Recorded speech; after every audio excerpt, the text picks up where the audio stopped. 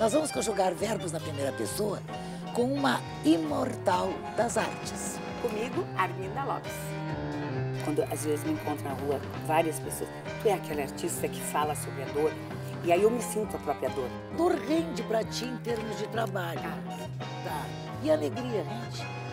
Em trabalho, não. Primeira pessoa, quinta-feira, 10 horas da noite, com reprise domingo.